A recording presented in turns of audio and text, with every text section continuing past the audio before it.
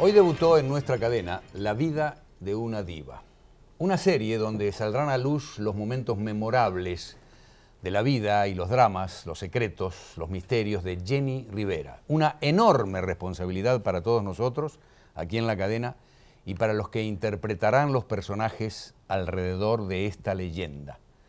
Al frente del elenco, recreando la vida de Jenny, está Jacqueline Alcalá.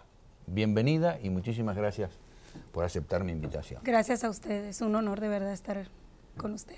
¿Te imaginaste en algún momento, o en todo caso, cuándo te imaginaste que en tu vida ibas a estar representando nada más ni nada menos que a Jenny? No, nunca. ¿Nunca se te cruzó por la mente?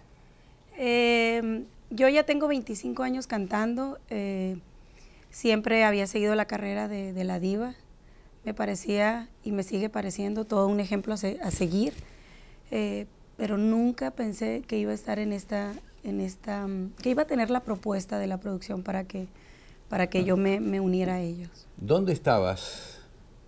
¿Qué sentiste? ¿Qué pasó por tu mente, por tu corazón, por tu emoción cuando te enteraste de la trágica muerte de Jenny Rivera? Estaba en la ciudad de Phoenix, Arizona. Eh, estaba manejando y estaba con mis hijos eh, en, el, en el carro y un amigo de México me llama y me dice que, que está desaparecida. Pero cuando me dice, me dice, ¿qué estás haciendo? Estoy manejando y vienen mis hijos. me dice, entonces estacionate para que, para que sepas eh, lo, la noticia que tengo. Me estacioné y fue cuando me dijo que, que el avión estaba desaparecido. Y la verdad yo no lo creía. Yo pensé que, que él estaba jugando conmigo, que me quería hacer una broma. Eh, me dijo, no, te estoy hablando con la verdad. Ve, en cuanto pude me acerqué a, una televisión y, vi todo. todo. Eh, fue un momento muy trágico para todos nosotros. Estuvimos dos o tres días reportando y, hubo esperanzas en algún momento de que ella estuviera viva hasta que se perdieron por completo. ¿Seguiste minuto a minuto lo que estaba ocurriendo en esta sierra ahí en Nuevo León? Sí.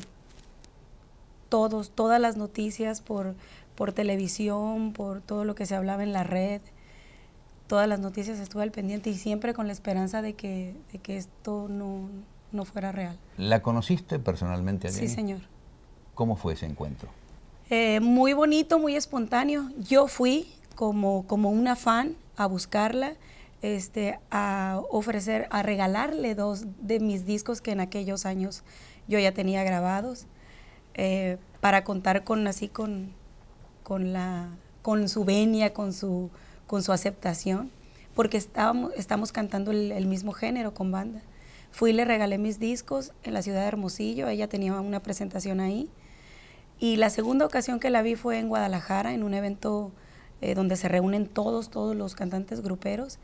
Me acerqué a ella y le dije, em, señora, yo soy, y antes de que yo decirle mi nombre, ella me dijo, Jacqueline Alcalá, no se me olvida.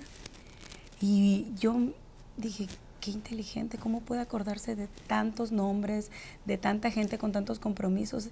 Y fue algo así que se, me quedó muy grabado. Hay un incidente muy importante en tu carrera. Tú sacaste una, eh, un disco que decía precisamente lo que ella iba a significar para todos sus fanáticos más adelante, la gran señora. ¿De dónde salió eso? ¿Quién te inspiró para darte, para dar ese título a tu propia producción? Eh, tengo hasta el día de hoy eh, nueve discos grabados y ese disco lo grabé en 1997. Este, doy gracias a Dios porque me hayan invitado a este gran proyecto de, bueno, que, que es un gran reto en mi vida, señor Gratas. Un gran reto, es un parteaguas en mi vida porque eh, lo digo y lo vuelvo a decir, no soy una actriz, pero asumo la responsabilidad y bueno, no soy, pero, pero me estoy preparando. ¿En algún momento cerraste los ojos? Porque el otro día me ocurrió algo contigo muy especial. Estábamos en los premios de la radio, de repente tú apareces y por dos segundos, te juro que el tiempo se detuvo. Porque sentí la voz de ella, sentí la presencia de ella cuando tú pasabas por ahí y me viniste a saludar. ¿En algún momento tuviste eh, la impresión de que tú también estabas incorporando poco a poco ese personaje tan difícil de poder representar en una serie? Señor Gratas, me han pasado tantas cosas tan maravillosas como cuando alguien viene y me enseña una foto y me dice, mira, y yo no sé la verdad, han habido momentos que no sé si es la diva o soy yo. Me dice, le digo, ¿cuándo me la tomaste? No, es la diva. Eso me pasó a mí el otro día. Cuéntame tu encuentro con Chiquis. Fue algo, fue algo, muy emocionante, muy emotivo. Eh, me, siento muy afortunada de, poder eh, sentido sus brazos. Eh, me siento muy, muy halagada, de verdad. ¿Te abrazó? Sí. Me abrazó y nos dimos un abrazo muy fuerte y me dio su, me dio su bendición. Te quiero decir algo con el perdón, con perdón de Jenny. ¿Te sentiste en ese momento la madre de Chiquis? Me sentí con la responsabilidad de, de darle consuelo y de decirle que lo menos que ella quería es ver llorar a sus hijos. Yo creo que nadie, ninguna mujer que es madre desea eso. Jacqueline, muchísimas gracias. Vamos a tener oportunidad de hablar más adelante. Van a salir a luz muchos secretos uno en especial de Jenny Rivera, que ya está interpretando en sus últimos capítulos Jacqueline, y ustedes van a ser los primeros en enterarse cuando esto salga en nuestras pantallas.